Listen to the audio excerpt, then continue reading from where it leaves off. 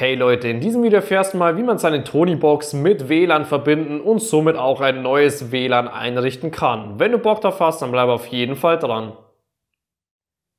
Ich zeige es zur besseren Veranschaulichung mal am PC. Das Ganze funktioniert natürlich aber am Handy bzw. am Tablet relativ ähnlich. Und zuerst mal müssen wir in einem beliebigen Browser, bei mir einfach mal Google Chrome, in der Adresszeile hier oben meine.tonis.de slash Wi-Fi eingeben. Dann kommen wir nämlich auch schon zur offiziellen Tonybox Website. Wir sollten uns mit unserer Tonybox auf jeden Fall in der Nähe von unserem Router befinden und es ist auch noch wichtig, dass der PC nicht mit einem LAN-Kabel verbunden, sondern nur per WLAN angeschlossen ist. Wenn das alles passt, kann ich hier unten mal auf Ich möchte loslegen klicken.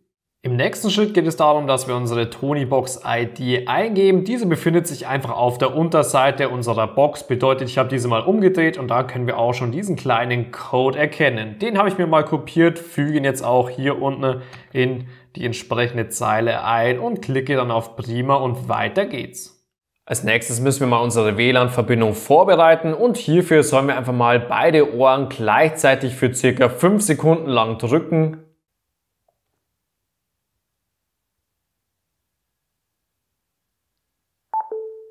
bis wir ein Signal hören und die LED hier auch schon blau blinkt.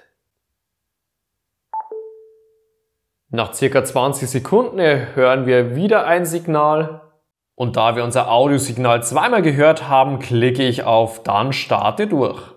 Unsere Tonybox hat nun ein WLAN mit diesem Namen erstellt und damit müssen wir uns jetzt auch verbinden. Beim PC ist es normalerweise so, dass wir hier unten noch unser WLAN-Symbol haben. Da klicke ich jetzt einfach mal drauf und dann sollten wir nach kurzem Warten normalerweise auch schon unsere Tonybox finden. Hier sehen wir Tonybox-83C, das schaut auf jeden Fall gut aus. Da klicke ich drauf und dann verbindet sich das Ganze auch schon automatisch. Falls bei dir die Tonybox hier übrigens nicht angezeigt wird, dann am besten einfach mal hier unten auf den Link draufklicken.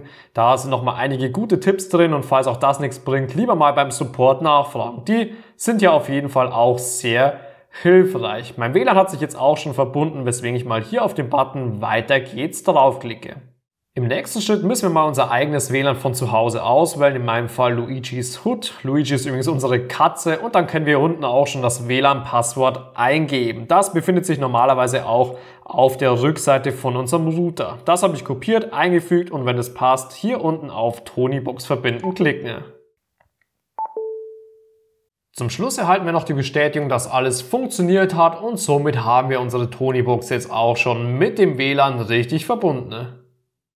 Wenn du dir für zu Hause jetzt übrigens eine neue Tony-Box, Kopfhörer, eine personalisierte Schutzfolie oder auch natürlich weitere Tonys zulegen möchtest, dann am besten einfach mal unterhalb des Videos in der Videobeschreibung auf den entsprechenden Link klicken und du kommst direkt zu den Produkten auf Amazon vom Markenhersteller.